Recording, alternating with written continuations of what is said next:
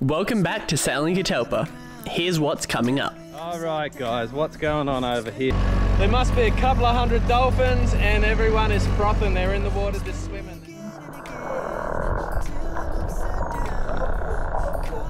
where we've been rafted up with our friends and the boys just went to retrieve the stern anchor. It was so deep in the sand.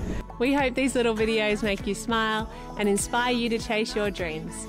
Subscribe to join us and our travels as we share our life on the sea.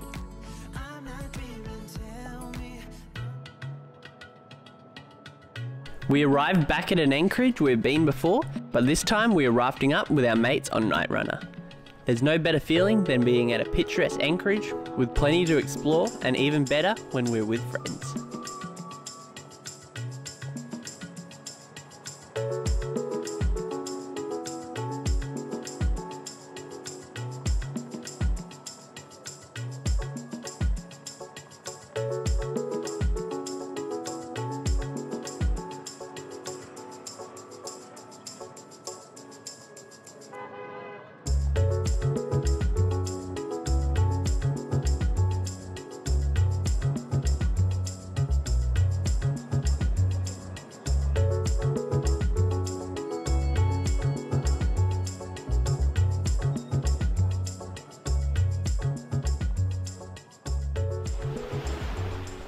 Alright guys, what's going on over here? Look at these people. Even the bubba has gone tribal. It's The Coco tribe. She's our leader. Coco. She can see herself now. the fam's gone tribal over there. What have we got going on over here? oh my god, what's she preparing for dinner?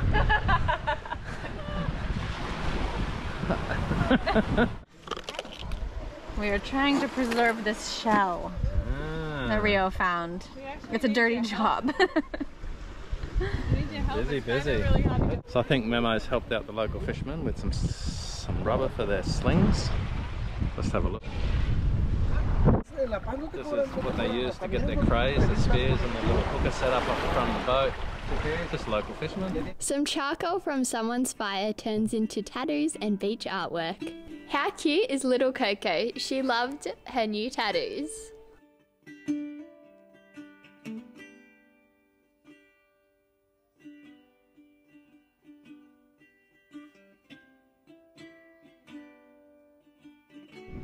This was so sad. Oh, there's a lizard.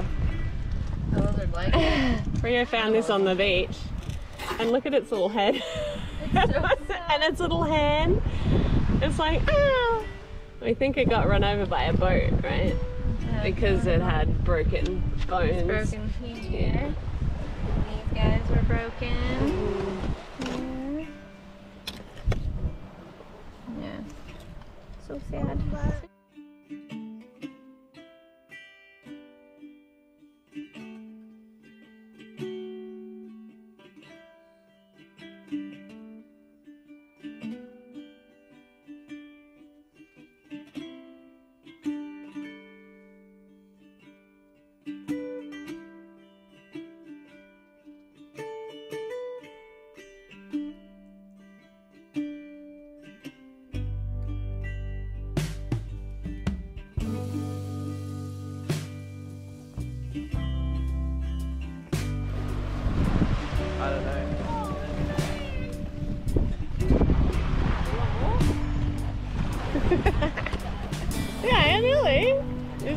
Stiff worm. a dying worm. After Memo helped out the local fishermen, they were kind enough to gift him some crayfish or lobsters and scallops. So that night we had seafood pizza for dinner. The lobsters on the pizza were the best. I'm not a fan of scallops, but everyone else liked them.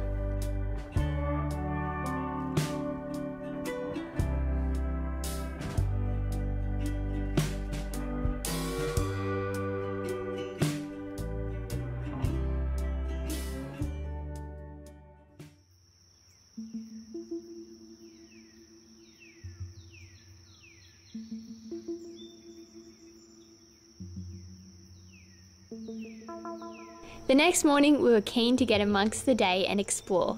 The cliffs here are perfect for climbing, so most of the day was spent rock climbing and jumping off into the water.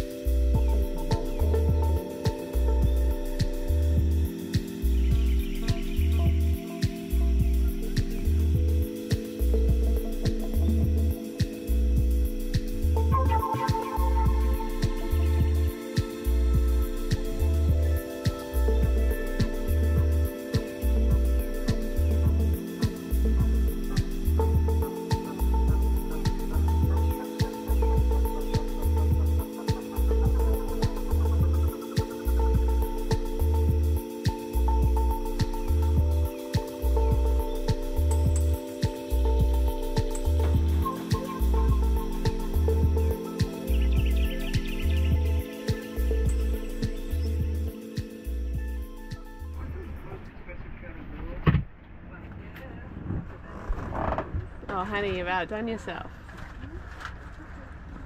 The captains have been slaving away in the kitchen while we're just hanging up here. this is what they bring out. Uh, how lucky are we? Super lucky. We'd go back to the bows for food and to chill, but most of our time here, we were out about in the dinghies, on the beach, or under the water. Alright, so Rio, Bella, or Bella's half in the boat, Rio's up the front of the boat, and all the guys are in the back of the water out there. They're all getting towed along on a ski rope, and there is dolphins everywhere. Have a look at this.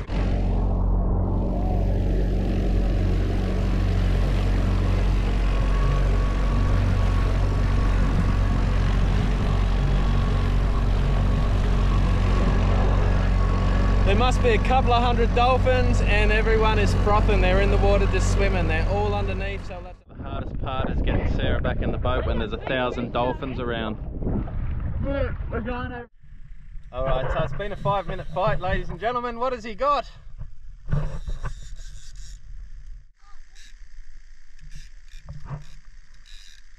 do you reckon, Rio? Is it a keeper? Right there.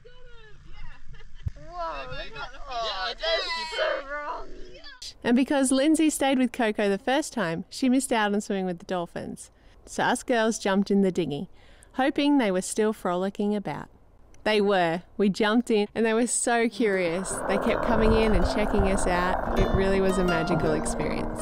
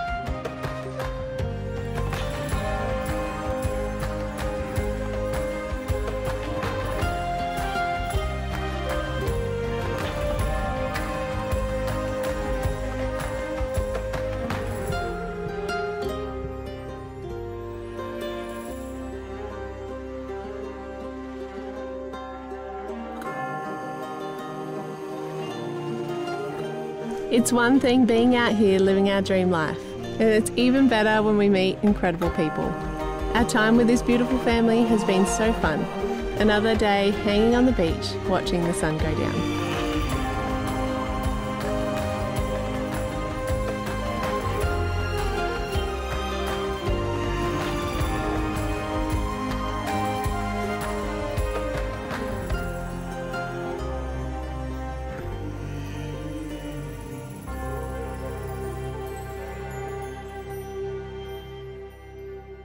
Tonight's dinner menu was panko crumbed fish and a delicious dish made by Lindsay.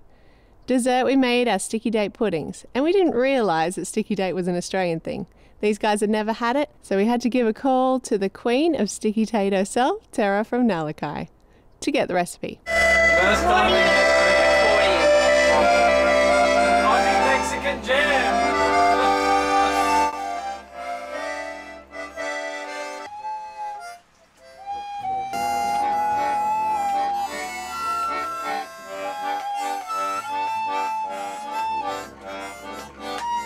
We ended up having a great night. All right, guys, I'm just going to interrupt Paradise just for one moment. We love Mudwater, as you guys know. We have introduced this coffee alternative into our lifestyle and we absolutely love it. And we wouldn't keep going on about it if we didn't. Mudwater is a coffee alternative and they are all about healthy habits and introducing them into people's lives. I love the brand, I love the company. We partner with them because of what they are about. They're into mental health and looking after our bodies and for me that is really really important for us as we travel the world on our sailboat. Mudwater is full of medicinal mushrooms, all the ingredients are organic and everything in it is healthy. There is no hidden nasties and I love that about the company. Thanks for sponsoring this video. Thanks for believing in our dream. If you also would like to try Mudwater, all of the information is in the bio and there is a link on the screen.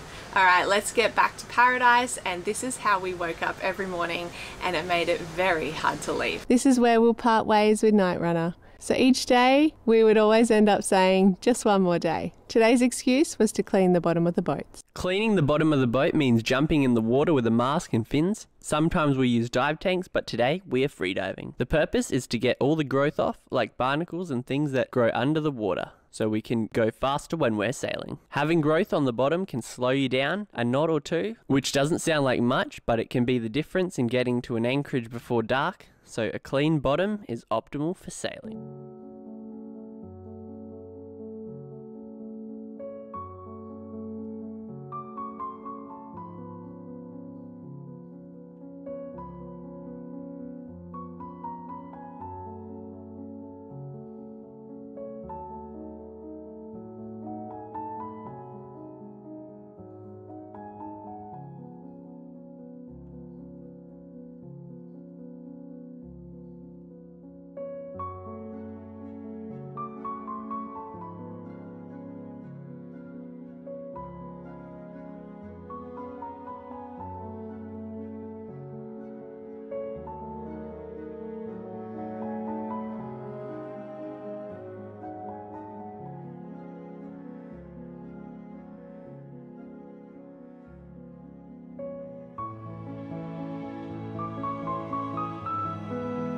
Another gorgeous end to another beautiful day, and this would be our last sunset together for a little while. It's always hard to watch the people you love go in another direction, but it's never goodbye. Always see you later.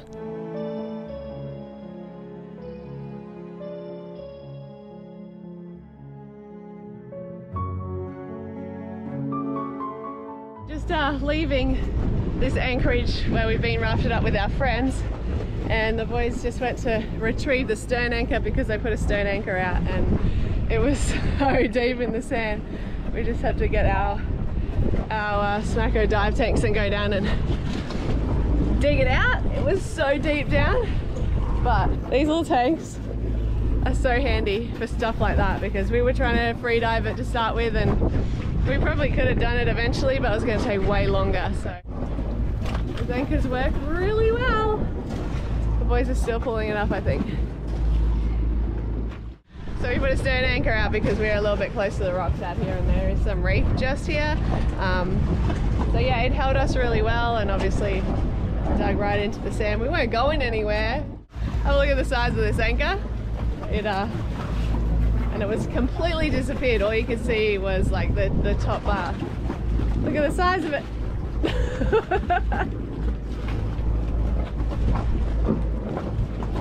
it's huge. She's had like 30 tons swinging off and uh, she was deep. It was yeah, deep. held well, stopped it from going into the rocks and um, yeah, I think we got to do. Now we can make some ceviche. Now we're staying another week, hey Memo? Or forever. There's no hurricanes. They say that there is. we don't We believe haven't it. seen them yet. We did see a few drops of rain. I don't know if that's a sign. Uh, thanks, Memo. Yeah, thank you, guys. that was a mission. Oh, my dinky dink without engine. Like, like, uh, oh, it's okay, guys. I got it. I'll pull it up. Now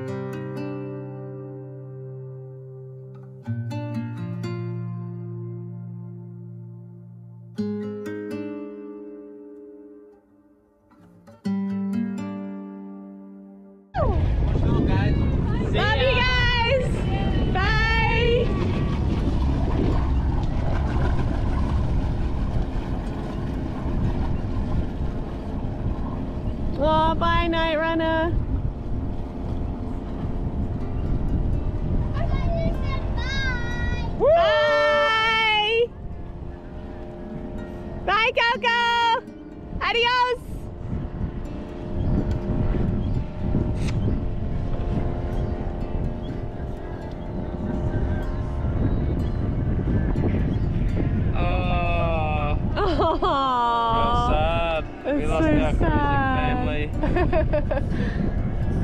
Going to uh, sort out a little bit of life on the land just until they get ready to go cruising full time. Yeah. All right, what are we doing? we staying or going?